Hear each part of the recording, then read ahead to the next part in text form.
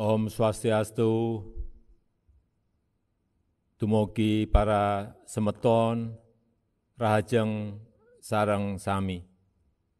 Yang saya hormati Gubernur Bali, para Bupati dan Wali Kota seprovinsi Bali, yang saya hormati para seniman, budayawan, dan para pekerja kreatif, serta seluruh krama Bali yang saya banggakan.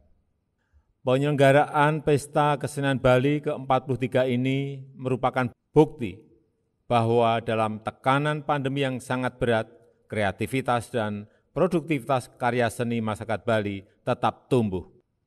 Tampil dengan cara-cara baru untuk terus mewarnai panggung seni dunia.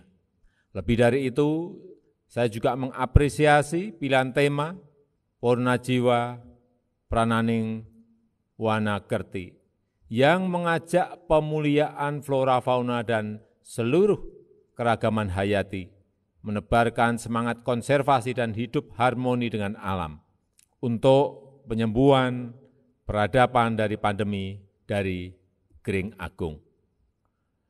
Warisan susastra yang mengingatkan datangnya wabah, yang mengajarkan cara mencegah dan beradaptasi, perlu dibuka kembali serta dikembangkan untuk mengambil pelajaran dari pandemi COVID-19 sekarang ini.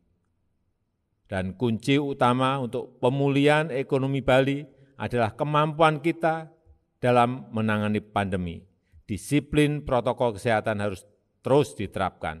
Vaksinasi juga harus dilakukan secara cepat dan masif. PPKM Mikro berbasis Banjar dan Desa Adat harus diefektifkan untuk mencegah penularan. Kita tunjukkan kepada dunia, Bali adalah destinasi wisata yang sangat aman dikunjungi.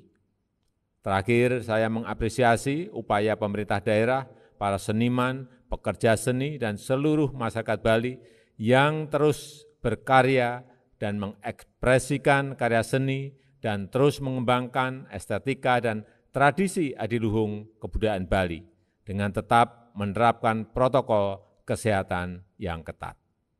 Dengan memohon anugerah Tuhan Yang Maha Esa, Pesta Kesenian Bali ke-43 tahun 2021 saya nyatakan dibuka. Om Santi Santi Santi Om.